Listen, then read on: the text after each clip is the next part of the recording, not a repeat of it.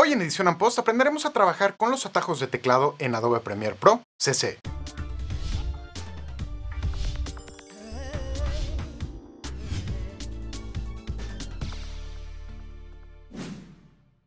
Hola, ¿qué tal? ¿Cómo están? José Luis Tamés de cinedigital.tv y bienvenidos a este programa de edición on post. El día de hoy vamos a platicar acerca del uso y de la configuración de los atajos de teclado en Adobe Premiere Pro. Sabemos que el uso de los atajos de teclado o keyboard shortcuts nos facilitan mucho el trabajo, aceleran en gran medida todo el proceso de edición y es lo que vamos a ver a continuación. Adobe Premiere es muy flexible en ese sentido y nos permite eh, una configuración muy sencilla de los distintos atajos, incluso emulando otras aplicaciones para los que vienen de Final Cut Pro 7 o los que vienen de Avid utilizando eh, ciertos eh, atajos de teclado similares e incluso nos permite configurar los atajos de teclado como nosotros queremos.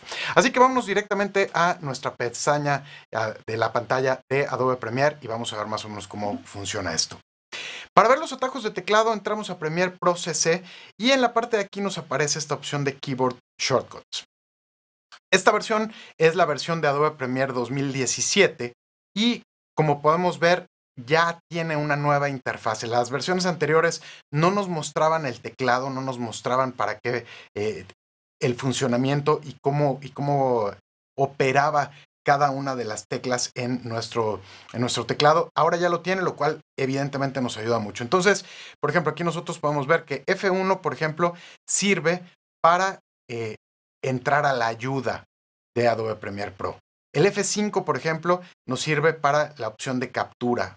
F6 para batch capture, etc. Entonces aquí nos muestra qué teclas tenemos asignadas a distintas funciones en Adobe Premiere y también nos da la opción de ver en la lista de aquí abajo qué, herramienta es cuál. Entonces, por ejemplo, si yo selecciono aquí Track Select Forward, me dice que es la tecla A, que corresponde aquí a Track Select Forward y, eh, y, me lo muestra sin ningún problema.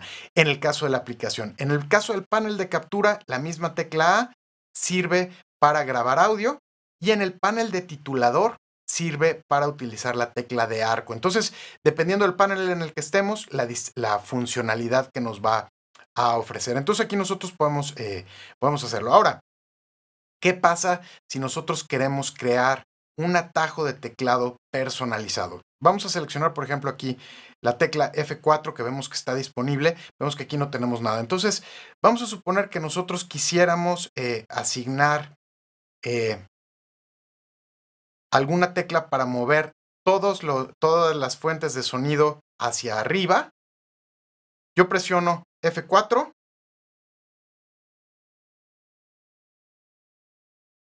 Perdón, necesito utilizar función porque estoy en una laptop. Función, F, función F4 y entonces me aparece en la parte de aquí arriba ya como disponible y como asignada. Ahora, ¿qué pasa si yo me equivoco o la asigno a otra tecla? Vamos a volar aquí esta opción y vamos a seleccionar para asignar una, una, tecla y vamos a, utilizar, por ejemplo, la tecla N. En el momento en el que yo aplico N, me dice en la parte de aquí abajo, el atajo de teclado N ya está en uso por otro comando de aplicación que se llama Rolling Edit Tool. Este comando no tendrá un, atajo de teclado de nuevo. Entonces aquí nosotros decidimos, ok, si yo no utilizo la función original de la, de la, eh, de la tecla N, puedo decirle sí, no importa, no hay ningún problema, o simplemente borrarlo y escoger alguna otra de las, de las opciones que tenemos. Entonces, ahí, ahí es como, como yo quiera. Entonces, yo puedo aquí personalizar, vamos a, a, por ejemplo, seleccionar aquí N, y vemos que en la parte de arriba me aparece Keyboard Layout Preset y ya me aparece como Custom. ¿Esto qué significa? Eh, en la parte de aquí arriba me aparecen ciertos presets o ciertas opciones ya pregrabadas que tiene Premiere. En este caso son los atajos por default de Premiere Pro, los atajos por default de Premiere Pro CS6, los de Media Composer 5 y de Final Cut Pro 7. En este caso de Custom, me aparece como Custom porque yo ya lo modifiqué. Entonces yo le puedo decir aquí Save As y vamos a ponerle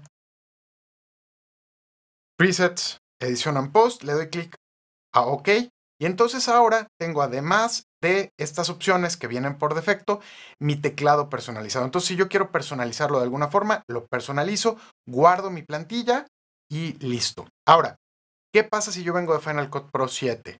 Le doy clic acá y selecciono Final Cut Pro 7 y vemos cómo me asigna los atajos de teclado a Final Cut Pro 7, le doy clic en OK y entonces yo puedo empezar a trabajar en Premiere utilizando los, atajos de teclado de eh, Final Cut 7. Mismo procedimiento si quiero utilizar los de Avid.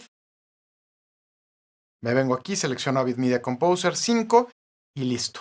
Entonces, si ustedes vienen de trabajar con otra aplicación, pueden utilizarlo, pueden convertir los atajos de teclado a los atajos de teclado con los cuales ustedes están familiarizados y de esta forma eh, trabajar más rápido, aunque la recomendación es si van a empezar a trabajar en Premiere de forma permanente, eh, utilizar siempre los atajos de, Premiere, ya que todos estos atajos de teclado son muy similares entre todas las aplicaciones de Adobe que seguramente estarán utilizando durante todo el trabajo. Seguramente irán a After Effects, Audition, a distintas herramientas y utilizarán muchos de estos atajos de teclado de forma continua.